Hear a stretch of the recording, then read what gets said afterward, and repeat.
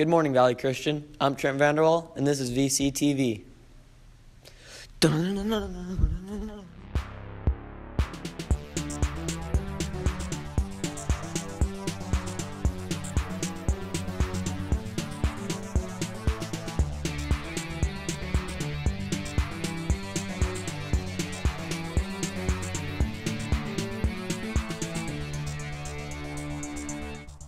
Good morning, Valley Christian. I'm Marion Ledesma, and here are your morning announcements. Today, there will be a college campus visit by Arizona Christian in the quad at lunch. If you're interested in signing up for the Costa Rica trip that takes place in November, there will be a meeting today at lunch in room B16. Reminder you are not allowed to eat in the Verhoeven College and Career Center unless you have a meeting at lunch. Thank you. There has been a change in the dodgeball schedule. Instead of Brett Garcia's team playing today, it will be Aaron Warren's team at lunch.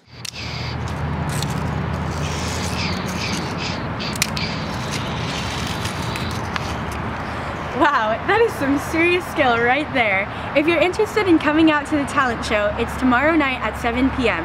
Admission is free, so be sure to bring your friends. Also taking place in the Legacy Chapel in two weeks will be the pre-AP administration meeting. If you are in an AP class and plan to take the AP test in May, be sure to go to this meeting on Wednesday, April 5 at 2:20 p.m.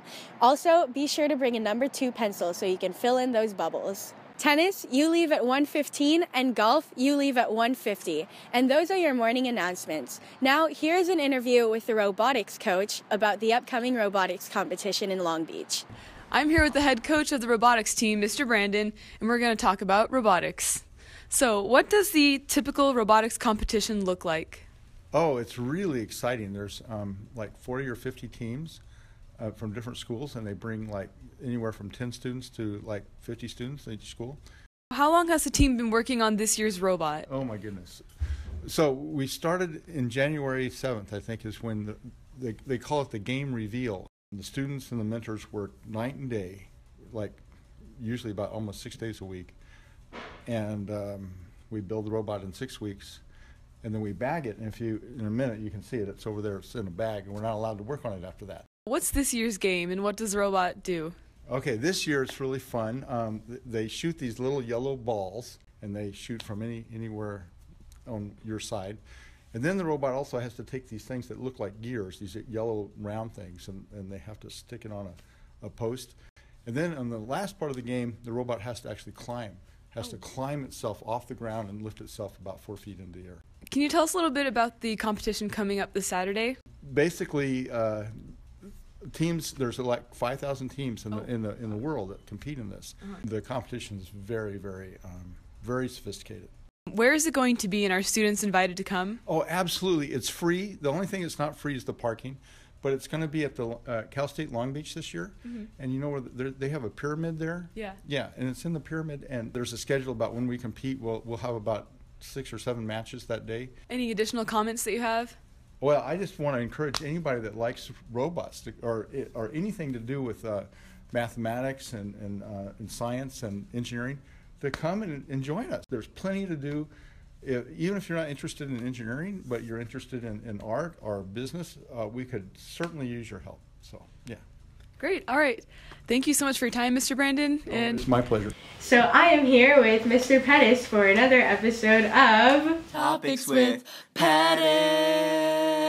So today we are going to discuss these cars from the Cerritos Auto Square that are parked in our high school. So um, they've been here for a few months now, but I think some of the students are still curious to know um, why the cars are parked there. So Uh, the Penske Group, who we kind of have a relationship with because we did the land swap with them as they took the end of the middle school lot and we got the land across the street, um, had asked to rent 50 spaces for it was one month at first with a possibility of three months was the last I heard. So they could be here longer, but we should be nearing the end of that deal. But I can find out more.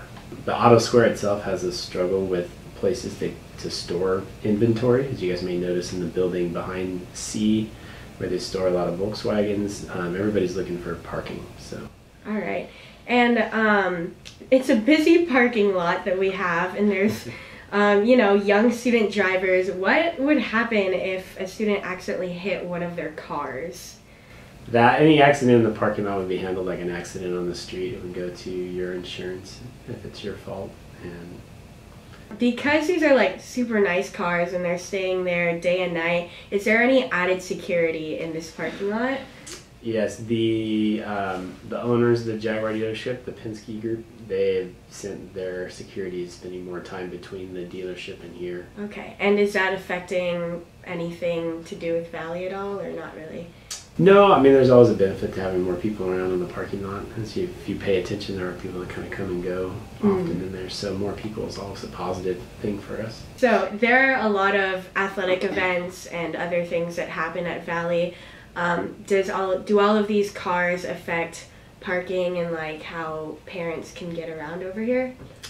Uh, I don't. We haven't had a problem yet. We did do it obviously after the football season. I don't think it would have worked at that point in time. They do know that if we have an event where we need the lot, that they would have to go for that particular event. I don't. I, as far as I know, we haven't run into that problem yet. So, All right, thank you, Mr. Pettis. All right.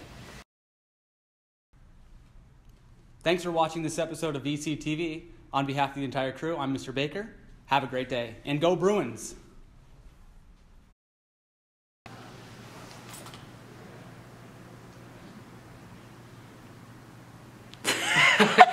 why'd you wait? Thanks for watching this episode of VCTV. On behalf of the entire crew, what am I supposed to say?